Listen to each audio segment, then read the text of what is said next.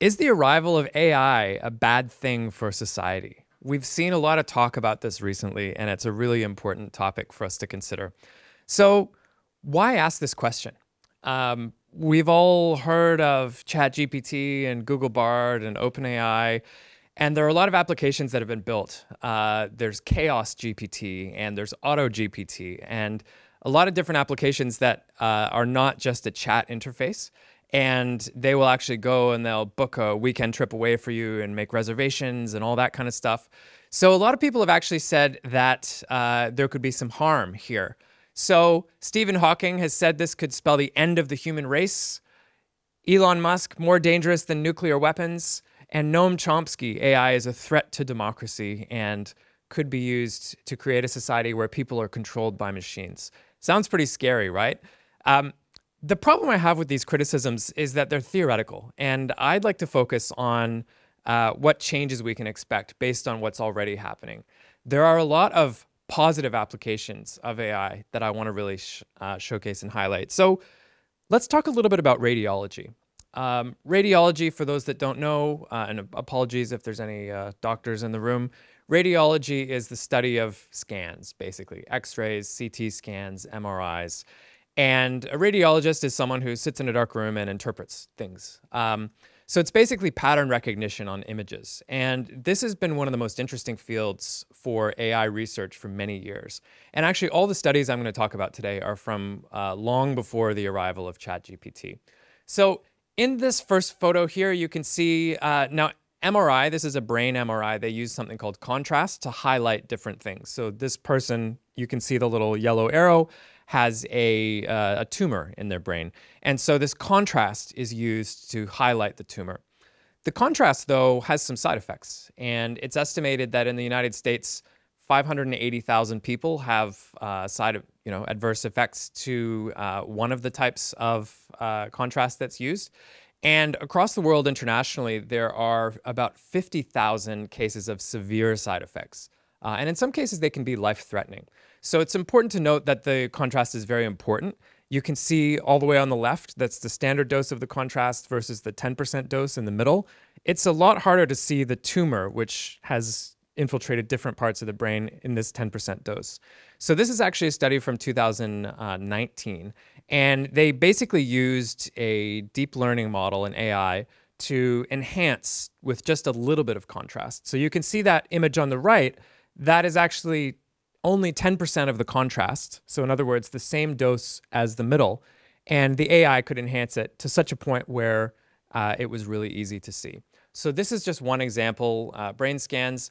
Let's talk a little bit about uh, lung cancer. And this is very personal to me, and I'll share why uh, in a few moments' time. So um, here we have, there's four different photos here. So this, this one here that we see is actually uh, the first one in time chronologically. So these two were taken at the same time and these two were taken at a later time. So this study from South Korea, also from 2020, before the days of ChatGPT, uh, they looked at 117 patients who had lung cancer. Okay, so these people have lung cancer. 105 out of them actually uh, the lung cancer was misdiagnosed. So if you have lung cancer, typically the symptoms are shortness of breath, coughing, you might be coughing up blood and stuff like that. There's a lot of other illnesses that can cause these types of things that are not cancer. And so the first thing that a doctor would likely do is send you for an x ray. And that x ray would then go to a radiologist who would write a report. So this study looked at these cases of these people who had lung cancer where the radiologists that looked at the first x-ray missed the cancer. So people that have cancer, that the radiologist missed the cancer. So this right here is the first scan that was taken, and this is just one of the 105 that were looked at.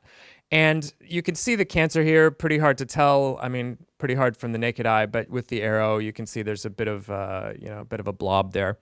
Uh, and this was missed. And so they looked at this, and so they took these 105 chest x rays of people that had cancer who were wrongly diagnosed. In other words, they were given a false negative and they were told, you're fine, it's something else, it's not cancer.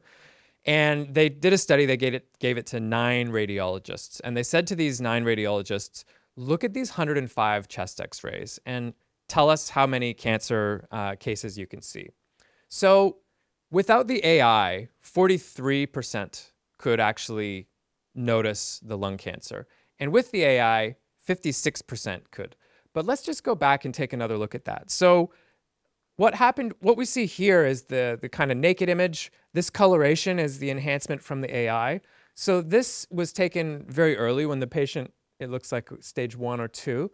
Uh, these bottom images, you can see a CT here, and this is the same x-ray, same patient, 447 days later, diagnosed with stage four lung cancer. Um, and at that point, um, chances are not as good as at this point. So, and you can see it really clearly here. It's spread to the bone here on the CT scan. So 43% identified without, 56 with. So the delta here is a 30% improvement. And it's not a 100% improvement, it's not a 500% improvement, but this is really something. Um, this is using a model that happened that came long before uh, ChatGPT. So I've put a photo uh, of my dad and my brother up there, and I want to share uh, just a little bit how this specific topic affects me. Um, so my dad, so this is the the Hughes boys. Um, my dad actually died from lung cancer four years ago, and just like the woman whose uh, chest X-ray we saw uh, in this first slide, uh, he would have had it for years and had no symptoms whatsoever. Was totally fine, and then by the time they caught it, it was too late. And so we're asking the question what would the long term global health impacts be if we could detect 30% more lung cancer? Uh, the, the functional idea here is that if you're catching more, you're not catching cancers that weren't there in the first place. You're catching cancers that are there, that are growing, um, that you haven't found yet. So you're not catching more, you're catching early, if that makes sense. So there's it's estimated that there's 2.2 million cases of lung cancer diagnosed every year globally. Uh, usually it's diagnosed at a very late stage. So, stage three and stage four, the odds are not very good. This is not a very good type of cancer. Um, there are different types of cancer. We'll get into that. So, there's 2.2 million uh, cases. Uh, so, if what would the impact be if we could detect 30% more cases? Well, it would be 660,000 cases a year. So, that's 660,000 lives that you can potentially uh, save, prolong. Uh, and so we can actually look at this. Uh, so there's two different types of lung cancer. I've just blended them all together statistically into one. Uh, let's look at the survival rates. So stage one, uh, when almost nobody gets a chest X-ray, no one has symptoms, the survival, the five-year survival is close to 80%, 74%. Stage two, we drop down to kind of mid 50s. Stage three and four, you're well below 50, and then obviously stage four, you're looking at you know, I think it's seven or eight percent.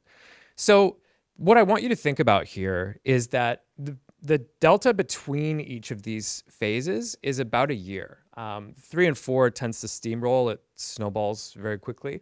But stage one to stage two, uh, it's usually about a year. Stage two to stage three, it's usually about a year. And then this stage three and four, things start to happen really quickly. So if we could identify 30% more lung cancer cases, we would be taking people that would otherwise be diagnosed here, and we'd actually be finding them here. And the impact of that is really, really clear. We can actually give these people much higher chances.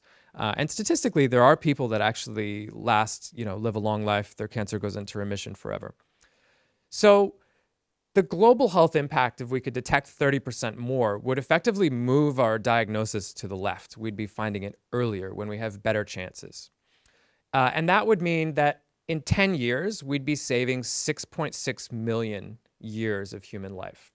So 6.6 million years. Now, when you think about that globally, that's not a big deal. There's quite a lot of us, billions and billions. But when you think of it in terms of the people who are actually most at risk of dying from lung cancer, stages three and four lung cancer sufferers, it's 156 days of life expectancy. Um, again, not a very long period of time to us. But when you're talking about someone that might have 12 months, that might have 14 months, that might have seven months, adding five and a half months to their lifespan is, is quite a noticeable difference. So that would be the practical impact. So let's talk a little bit about, um, yeah, this is the 660 person years of life saved annually. Let's talk a little bit about Singapore um, because I want to make this a localized uh, story for the audience. And the radiology doesn't continue here. I want to talk more generally about AI. So, why is Singapore poised to become an AI hub? We're obviously a very advanced country. There's a lot of things that we're doing. Um, the first thing, and this is, I think, the most important thing, we trust our government. So this is a little bit complicated for a TED Talk. What I want you to see here on the very right, this is Singapore. And so what this shows is that our trust in government, 76, is higher than our trust in business. So there's only five countries on this that people trust their government more than they trust business. I'm Canadian. Where are we here? Canada. We apparently uh, trust business 1% more than we trust government. Um, I won't make any political comments for any Canadians here, but uh, Singapore, you can see we're the most, we trust our government the most. And um, this is the biggest reason why Singapore can win here, because this is going to require a concerted effort by government, industry, and science and medicine. So we have uh, very high internet connectivity. We have 147% mobile phone penetration. Um, I'm sure we've all taken a grab or a taxi where the driver has three, four, five devices sometimes. They've got a tablet, they've got all kinds. So that's where that number comes from. We also have an innovation ecosystem. We have fantastic infrastructure.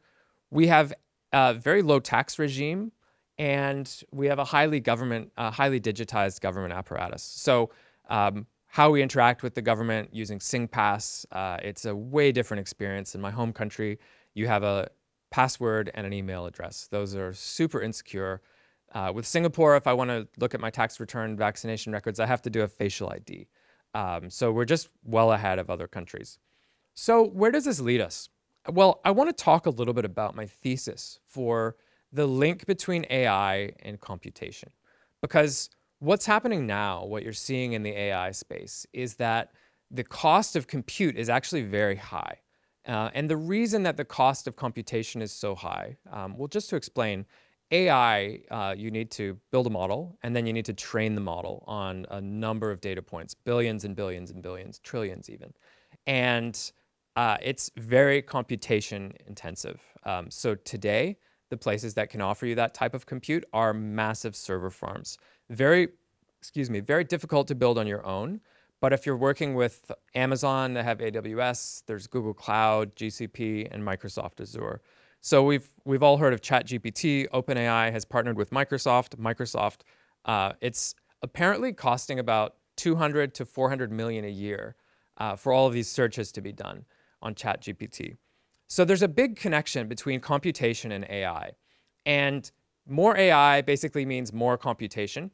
So uh, better machine learning. So why do I think this? Why am I saying this? Well, we we follow Moore's law. You know, the number of chips that you can fit, uh, or the number of transistors on a chip, uh, chips on a board, etc. So we expect that this technology will increase exponentially, and so we're expecting better um, machine language. Um, that means that we're going to be able to use the AI, so we get better AI that creates an environment where we actually learn how to use this computation more efficiently. And what that helps us get is better utilization of compute. And finally, we go to decentralized computation. So um, anyone who's been in the tech space for the last 10 or 15 years, there's this elusive dream that we have of everyone's, you know, everyone's computer, everyone's phone, you being able to plug into a network and do just a tiny bit of computation and earn a little bit of money. The reason that it's not economical to do this is because 99.9% of the time, your home laptop or whatever device you're trying to connect to that network in a decentralized way, it's not going to be efficient.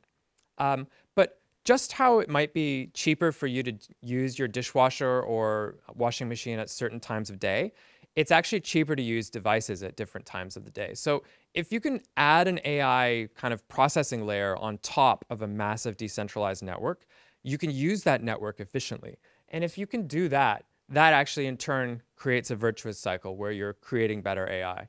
So as an investor, this is something that I'm very interested in, the idea that decentralized networks basically have been impossible until now. You, we've had to rely on uh, Google and Amazon, but we won't have to for much longer because AI will allow us to efficiently use uh, these networks in a way that everyone will be able to plug in.